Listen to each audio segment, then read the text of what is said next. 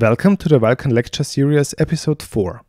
My name is Johannes Unterguggenberger from the Research Unit of Computer Graphics at TU Wien, Austria, and the topic for this episode is commands and command buffers. Commands are a very central element because without them we wouldn't get any results. They represent any kind of work that we would like a device to perform. As an example, this could mean submitting a draw call to a GPU for rendering a part of a nice 3D scene or maybe of a game. But actually, there are many commands for different purposes, as we will see in a moment. One important point right away, I'll use this depiction of a queue and a command, which is scheduled for processing on that queue throughout this episode and also in other episodes. This depiction always means that the command has already been submitted to the queue, which means that the device has already received the command for execution. As an example, this could mean that your GPU, the device, has already received a draw call instruction in form of a command. So the GPU has parsed the command it has been instructed to execute and it is ready to execute the required computational workload and such computational activity on the GPU is depicted with an animation like this one here, where the command moves through the queue and is removed from it after all computations have completed. The outline for this episode is as follows. First, we will take a look at the wide variety of commands offered by Vulkan and to different types of commands. Then we will get to know command buffers and how to record into them we will take a brief look at the command buffer lifecycle, as well as primary and secondary command buffers. And finally, we will see how to provide data to commands. Let us start with an overview of the variety of different commands.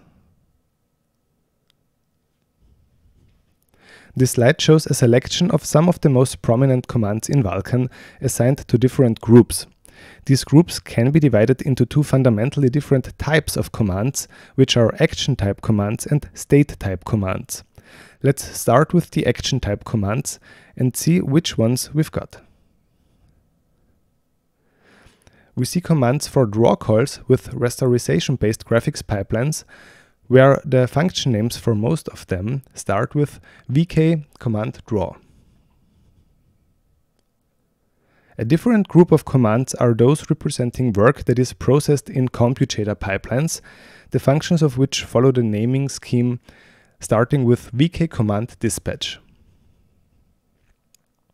And for the third fundamentally different pipeline type, we have commands to start tracing rays using real-time ray tracing pipelines, and the function names for these workloads start with vk command trace rays. Such real-time ray tracing pipelines always require acceleration structures to find out which geometry is hit by a ray, and these acceleration structures need to be built, which is another group of commands on this slide. The function names for these commands start with vk command build acceleration structures. Another important group is the group of transfer commands, which can be divided into several subgroups namely into copy command,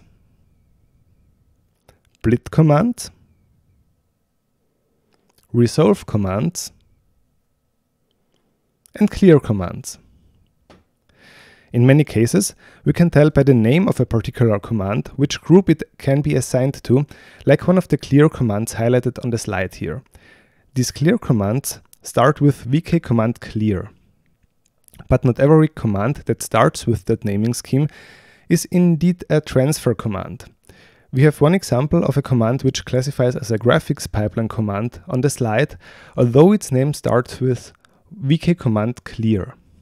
It can be found under the graphics pipeline commands group and its function name is vk command clear attachment.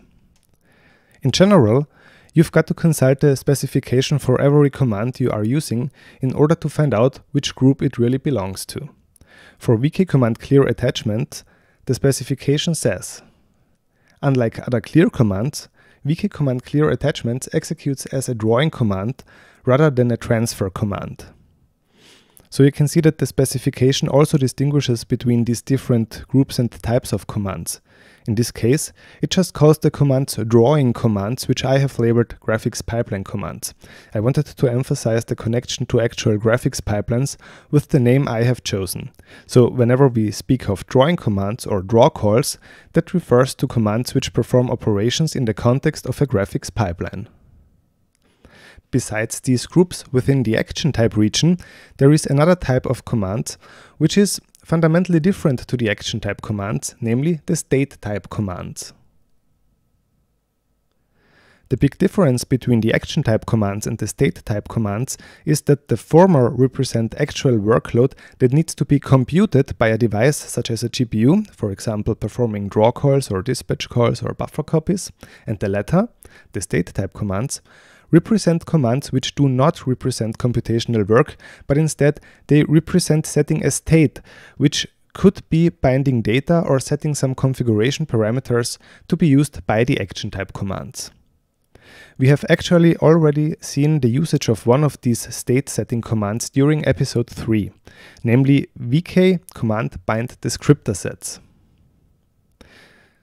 We have seen an example where this command function was used to bind different descriptor sets for different commands.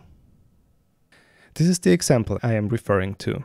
To set up a current state, we can use vk command bind descriptor sets to bind descriptor sets A and B prior to recording command 1, which could be a draw call, a dispatch call, or a trace rays call. So before recording each command, which represents actual computational workload, namely command 1, command 2, command 3 and command 4 in this example, we use these configuration setting commands like vk command bind descriptor sets to establish the proper state for the commands that represent actual computational workload on a device. If we divide this depiction into device and host, we can see that the, that the queue is on the device side the queue currently has no work scheduled on this particular queue, but we will submit some work in a moment, which is to be performed by the device. Furthermore, the descriptor sets are already stored in device memory, which is why they are also included in the device region.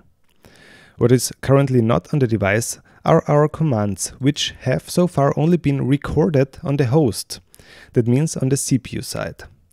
And on the host, we have already established links to resources on the device through the descriptor set bindings, like, for example, descriptor sets A and B for command 1.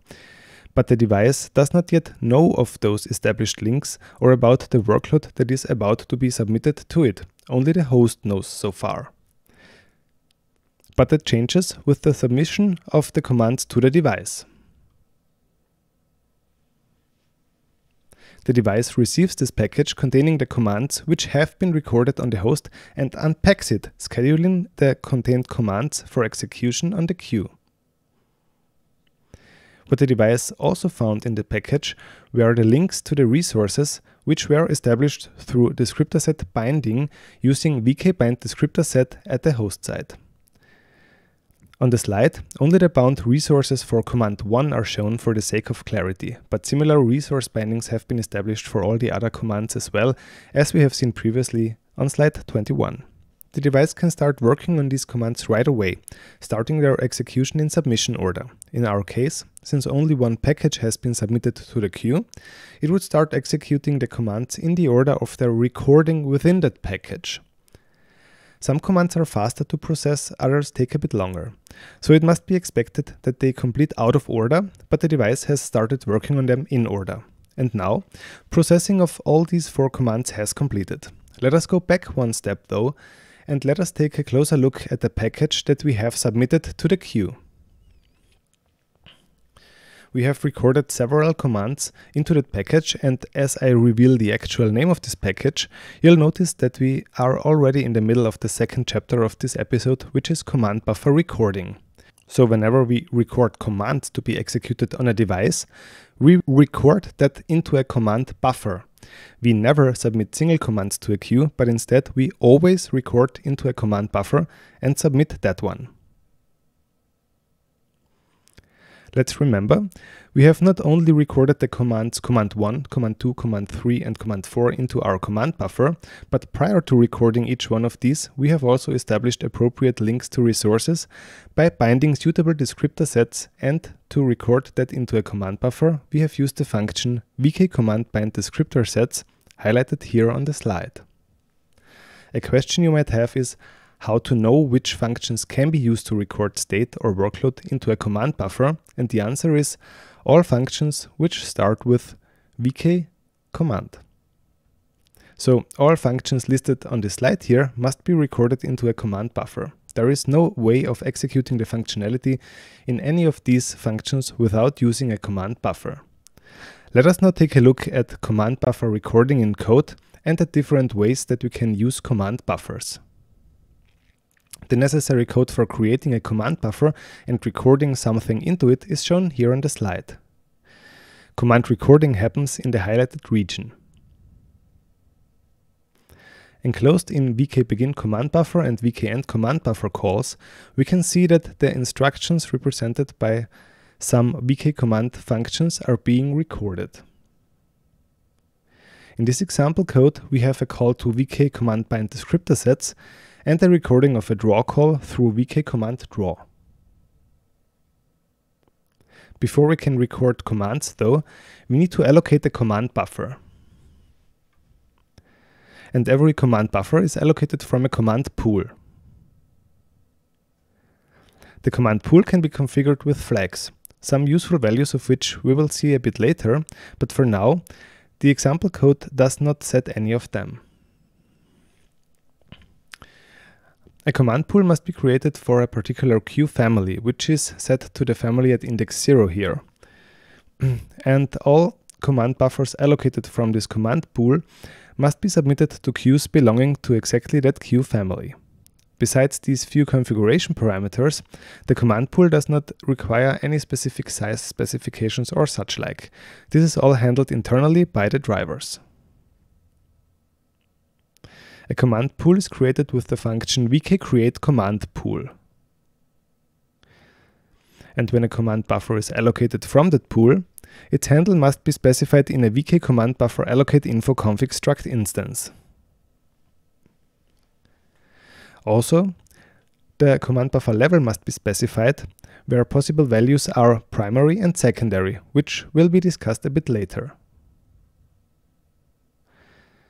In this case, it is stated that only one command buffer shall be allocated.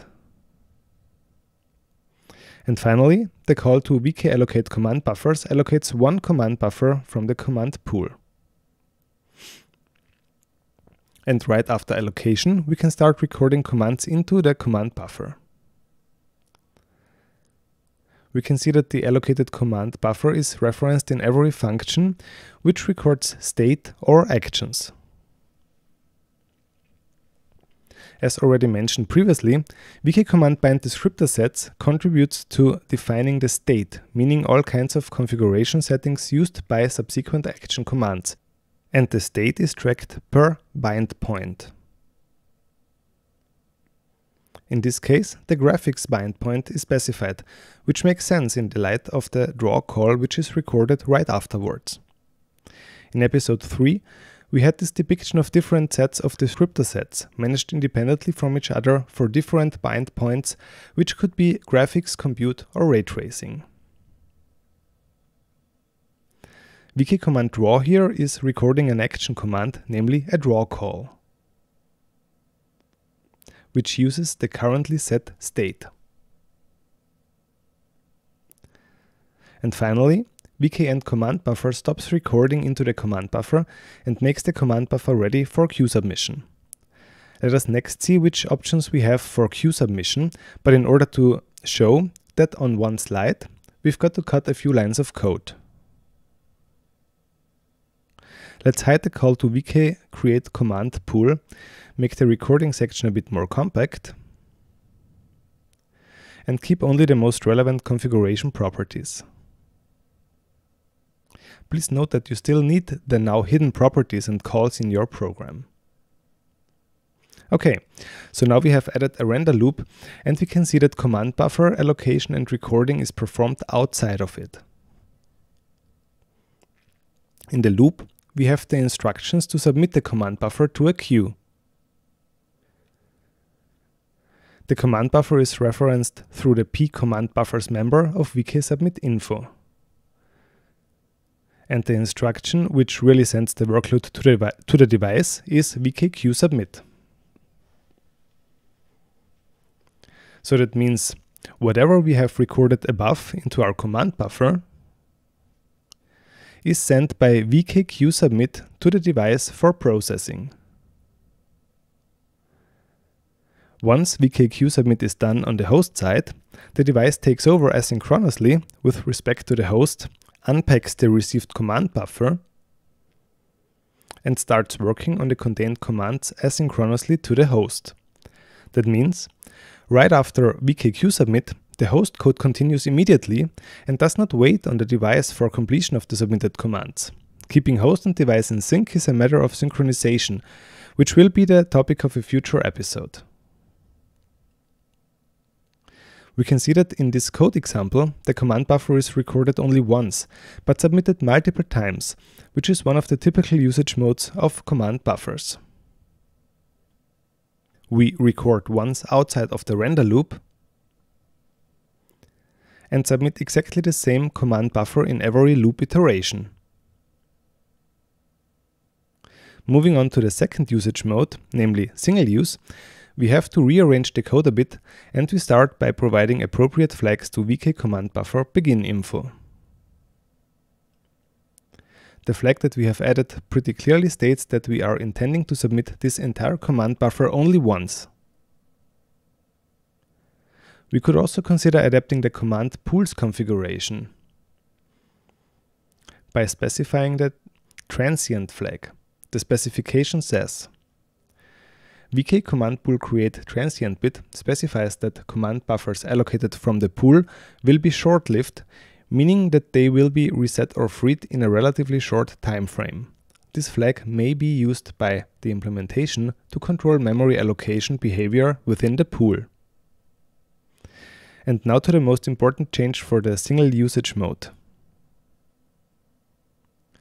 We've got to move both command buffer allocation and recording into the render loop. And with that, we have properly refactored the code for the single use mode, and we have specified the appropriate usage flags for this mode. Please note that this mode can be totally fine. You do not have to try record everything beforehand and only make use of reusable command buffers. In many cases, that will not even be, be possible, especially if the instructions to be executed change according to an application's requirements. Examples for such changes could be that a user interface is shown or hidden, or that various parts of a 3D scene are added or removed from being drawn, maybe due to some frustum culling or maybe because new elements spawned in a scene. So most applications will probably require the recording of command buffers on a per frame basis. And while this is not free in terms of performance, recording a few command buffers per frame is usually totally fine. It could be stated that one should strive to record as few as possible but as many as necessary per frame. Recording efficiency or performance of the single use mode can maybe be improved a bit by the third usage mode shown here, which would be reset and re-record. For this mode, we should add an appropriate flag to the command pool, namely the reset command buffer flag. The specification describes it like follows. vk command pool create reset command buffer bit allows any command buffer allocated from a pool to be individually reset to the initial state, either by calling vk reset command buffer or via the implicit reset when calling vk begin command buffer. If this flag is not set on a pool, then vk reset command buffer must not be called for any command buffer allocated from that pool. Moving on with our refactoring for this mode. We are going to move the allocation out of the render loop. But command buffer recording remains inside, so we still maintain the flexibility of changing the recorded commands every frame. Note that we are not invoking the vk-reset command buffer function in this case, which might still be fine if we check back with the specification once again. It says that there are two ways to reset the command buffer. First one is by explicitly calling vkreset command buffer. And the second one is an implicit reset when calling vkbegin command buffer, which is what we are making use of in our example code. At this point, we should take a look at the command buffer lifecycle, which is also described in the specification. The different states of a command buffer are described with this nice diagram. After allocation, we start in the initial state. With vkbegin command buffer, the command buffer gets into the recording state until we finish recording through vkend command buffer, which brings it into the executable state. Upon queue submission, the command buffer goes into the pending state while it waits to be processed by the device. Given that we have specified the one-time submit flag, as in our example code, we can see that after completion, the command buffer goes into the invalid state, from which it can implicitly be reset by just calling vk begin command buffer once again. There is, however, one thing that we really need to pay attention to in this case, which is that we have to ensure that the command buffer has completed. We won't discuss this in this episode though, since this is a matter of synchronization, which will be discussed in a future episode. But as long as we can be sure that the command buffer has returned to the invalid state in our example, we can safely re-record it with vkbegin command buffer. I would highly recommend reading about the command buffer lifecycle in the specification and another important aspect which must not be forgotten is proper cleanup and memory management through the functions shown at the bottom of the slide. Let us now quickly talk about the differences between primary and secondary command buffers and what the latter might be useful for. What we have used so far are only primary command buffers. We have always recorded commands into them on the host side, which might imply some performance hiccups on the host side in some cases. A solution to this problem might be to record into different command buffers from multiple CPU threads at the same time. With multiple cores working in parallel on command recording, this process could turn out to be accomplished faster. In this example, we record into one primary and two secondary command buffers in parallel but only primary command buffers can be submitted to a queue, so we are executing the commands within the secondary command buffers from the primary command buffer, and we can record that into the primary command buffer using vk command execute commands. Now the thing is that recording into multiple command buffers in parallel is not something that is limited to secondary command buffers. Just in the same way, it is possible to record multiple primary command buffers as well from different threads. And in terms of state management, we will not gain anything as well, since all state, that means all the descriptor set bindings and other configuration parameters, is managed locally with respect to a command buffer always. Command buffers do not share any state, and there is no global state as in older APIs like OpenGL, for example, where everything is managed as global state. Global state does not exist in Vulkan, and all the state relevant for actions is managed locally in command buffers. This is what actually allows multiple command buffers to be recorded from parallel threads, and is one of the essential aspects that makes Vulkan such an efficient API if used properly. So only primary command buffers can be submitted to queues, and the actions in the secondary command buffers must be invoked from primary command buffers. So, what might secondary command buffers be good for? Generally, whether or not they are useful can't be said in general, but it depends on the situation.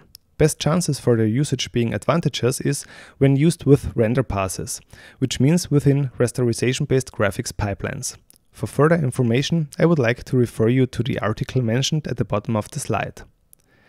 As a final item before moving on, I would like to show what the specification has to say about state, which can be found in its section about command buffers. Each command buffer manages state independently of other command buffers. There is no inheritance of state across primary and secondary command buffers or between secondary command buffers. When a command buffer begins recording, all state in that command buffer is undefined. when secondary command buffers are recorded to execute on a primary command buffer, the secondary command buffer inherits no state from the primary command buffer, and all state of the primary command buffer is undefined after an execute secondary command buffer command is recorded. There is one exception to this rule. If the primary command buffer is inside a render pass instance, then the render pass and subpass state is not disturbed by executing secondary command buffers. And with that, we move on to our last topic in this episode, which is about different ways how data can be provided to commands. And actually, this is all about different ways how action type commands can be provided with data. Let us start with the way we already know, which is establishing links to resources through descriptors. We have talked about this in detail during episode 3, where we saw how different types of resources can be referenced from descriptor sets, which we have allocated from a descriptor pool and written the resource links to. When action commands are submitted to a queue, such descriptor sets can be bound and accessed by the commands during execution. One example of such a descriptor could be a combined image sampler, as it might be contained in descriptor set D in this example, which refers to both an image and a sampler. In GLSL code, this can be accessed through a uniform sampler 2D. For other resource types, please refer to episode 3. The next way to provide data to commands is through push constants. Push constants means a very small amount of data that can be stored in a command buffer itself.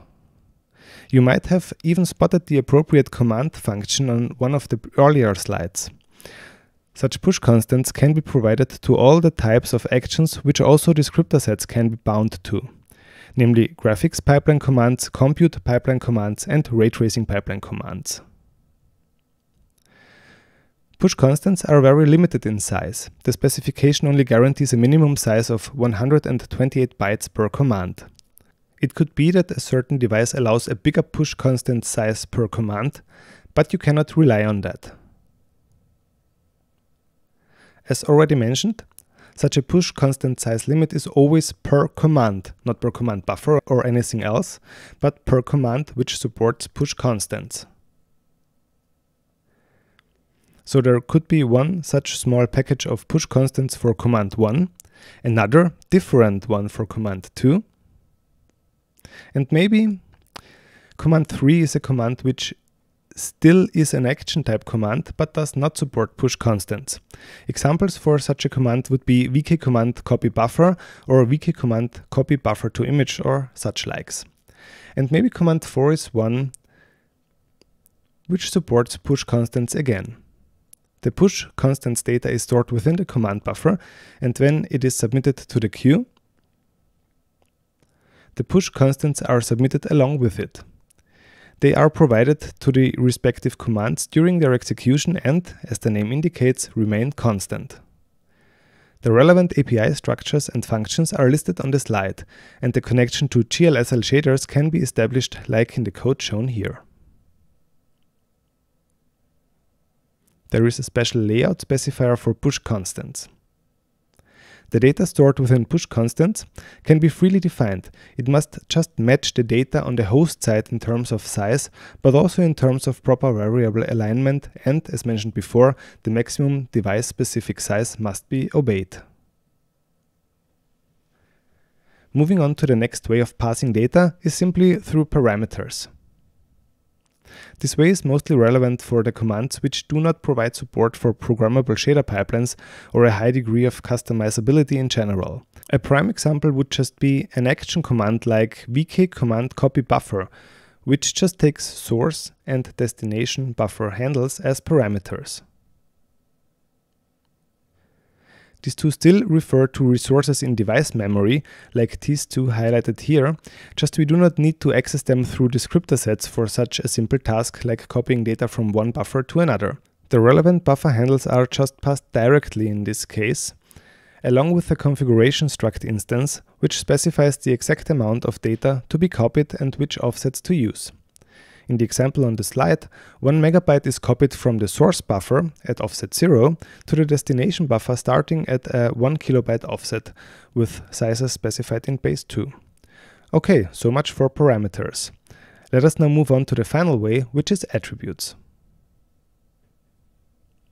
Attributes are specific to graphics pipelines, no other type of command supports them. Also, they only apply to classical graphics pipelines and not to the modern mesh shader-based rasterization pipeline variant. The slide shows pipeline stages of a minimal vertex shader-based graphics pipeline and above the vertex processing region we can see the vertex input stage, which is the stage that receives these vertex attributes as input and from there they are passed on to the vertex shader for further processing. In a vertex shader, we can make a layout declaration and specify a numbered input location for receiving a vec3 value which is interpreted as a position data in this example. Multiple such input attributes can be declared at different input locations. Here we have three of these declared, a vec3 for a position, another vec3 for a normal, and a vec2 for texture coordinates. Let us move back one step though to only one input attribute, namely a position, and let's see how to establish a setup to stream such attributes into vertex shaders. First, we have to declare a vk vertex input binding description for the bound input buffer, which will provide the data. We set it to binding number 0, which will refer to a certain buffer bound to that binding number at index 0 which we will specify later, just before recording the draw call using vk command bind vertex buffers. There is a parameter to this state setting function, which needs to be set to that binding number in order to establish the link properly. Furthermore, we specify that the vertex input rate shall be vertex, which means that one value of the buffer is streamed per vertex. And the third important parameter of VK vertex input binding description to be set is the stride parameter, which specifies the offsets between two consecutive records of data in the input buffer. One record within this input buffer could be declared like the struct shown here. If we assume that multiple such records are stored in consecutive memory, that means that each entry contains three float values, then the subsequent entry starts. Therefore, the right value for the stride is the size of three floats. The format of three float values must be set even more precisely with another configuration struct, which is of type vk vertex input attribute description and has a format member. The format specified here says that the data for the first attribute is three 32-bit signed float values taken from an offset of 0 with respect to one of the input buffer's records. Where that input buffer the data is taken from can be found at binding number 0. And the data is going to be streamed to location 0 in vertex shaders. We can see on the slide that the location numbers in host code on the left hand side and in GLSL device code on the right hand side match. These configuration instances need to be wired together in a VK pipeline input state create info config struct instance to set it up properly for usage within a graphics pipeline. Let us now move on to the case where we have different data stored in one record of our myVertex data struct, namely a position, a normal, and texture coordinates. We need to refactor our code a bit to set up the configuration for this case properly. We start with the stride parameter, which must now reflect the larger size of our input buffer records. We increase it to 8 float values. Then we need to add additional attribute descriptions, one for each attribute. One for the position, one for the normal, and another one for the texture coordinates. All their binding numbers still remain set to 0, since we stick to using one single input buffer. but the location numbers must be different from each other because they represent the target locations for our vertex shaders. Let's display the vertex shader code once again, where we can see that the location declarations match the configuration on the host side. Also the format specifications match on the host side and in vertex shader code. We just need to pay attention that the offsets are set up properly with respect to the data in one record of the input buffer. Let us refactor one more time into a different format for the input data, where we are using three different buffers for the different attributes instead of putting everything into one buffer. In the memory diagram I have hidden the VK memory regions due to a lack of space. But of course the backing memory for each of the three VK buffers is still there. First of all, we are changing uh, all the offsets to zero.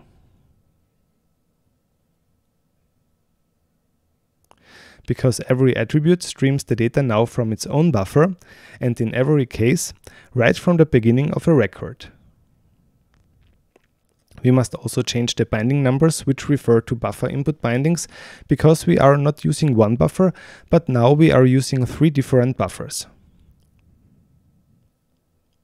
Now I'm going to compress the attribute description code a bit so that we get some room for further VK vertex input binding descriptions. And add one VK vertex input binding description for each input buffer. Every one of them refers to a different input buffer binding, which we then just need to ensure to bind the right VK buffer to.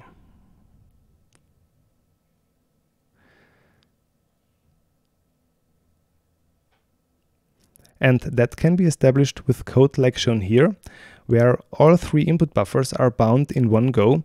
The first one bound to binding ID 0 and the next two to the consecutive binding IDs 1 and 2. With that, we have reached the end of this chapter and also the end of this episode. I hope that you found the provided information about commands and command buffers interesting and helpful, and I would like to thank you for your attention.